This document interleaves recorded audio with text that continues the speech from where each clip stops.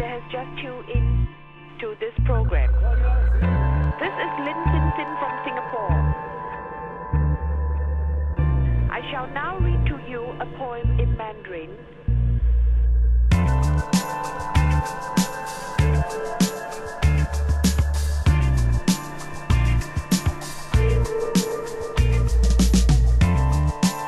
The title is 学问 meaning knowledge.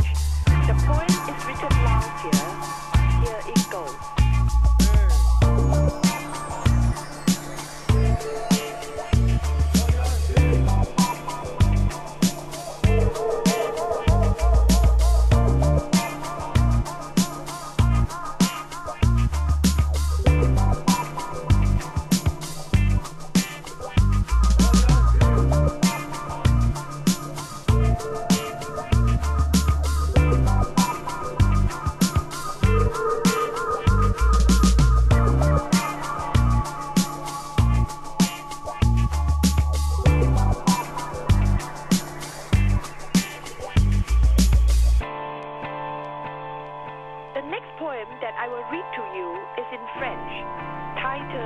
Le Mariage.